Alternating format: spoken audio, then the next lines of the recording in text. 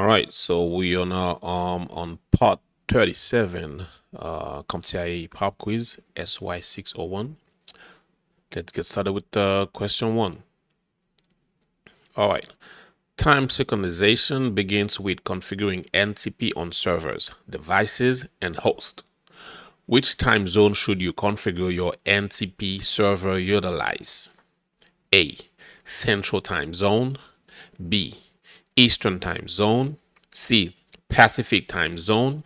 Or D. Coordinate Universal Time, UTC.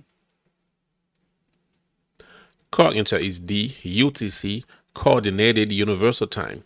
Enterprises looking to deploy time synchronization should utilize three public servers. Set up a local internal NTP server that is used for all internal hosts as a reference timekeeper and only have internal NTP server make requests to the public servers. You should ensure that you are uh, standardizing on UTC time across all systems. It will make researching attacks and issue more relevant. 2. What type of remote access is the most widely used and secure method considering all your assets are located behind a firewall? A. VPN B.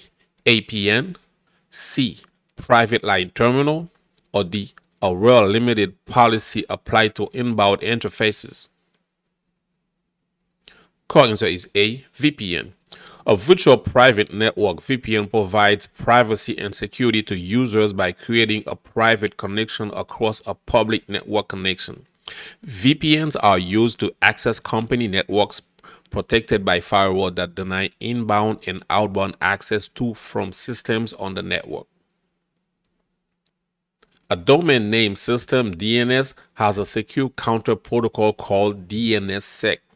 If you can't implement DNSSEC, which of the following are ways to secure DNS without migrating to DNSSEC?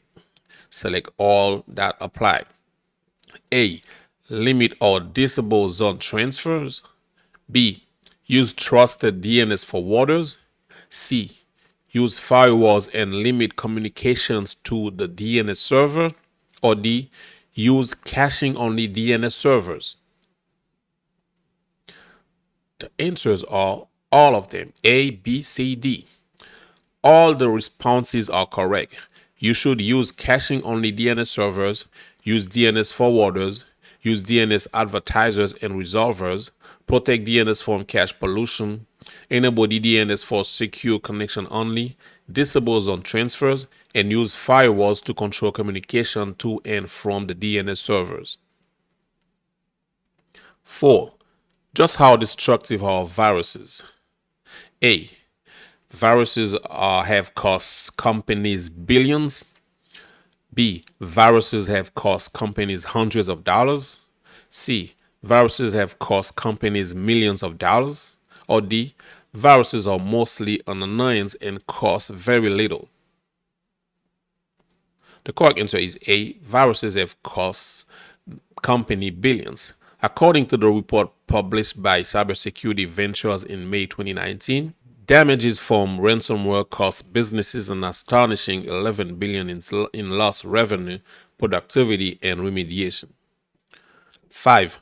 What is one of the ways that anti-malware software detect malware in hostile code?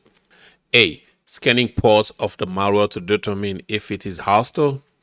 B. Making behavior-based observations. C copying the suspect file and compromise it, or D, realize that malware is mostly an annoyance. Correct answer is B, making behavior-based observations. Anti-malware software that use behavior-based malware detection can detect previously unknown threats by identifying malware based on characteristics and behaviors. Alright guys, thanks for watching. If you have any comment, please leave it in the comment section below the video. And guys, don't forget, click on the subscribe button and also click on the bell for notifications so you will never miss any of my videos.